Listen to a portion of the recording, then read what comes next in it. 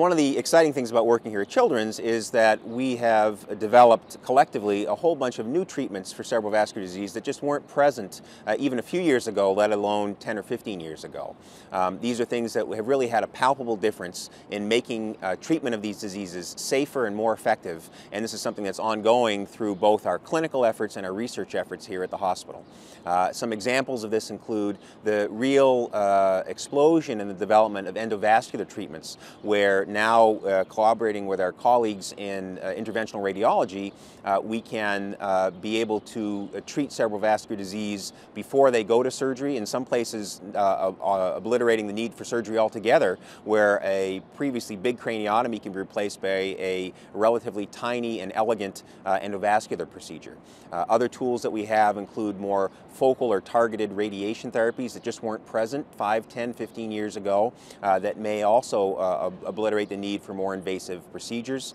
And most importantly, the idea of being able to work uh, in collaboration. We can diagnose lesions uh, earlier uh, and more safely with radiology uh, uh, studies, and then in the operating room, treat them more effectively with neuronavigation to get where we need to get to with smaller and tinier operations during the surgery, having different tools such as intraoperative angiography, fluorescent angiography on the microscope to help us see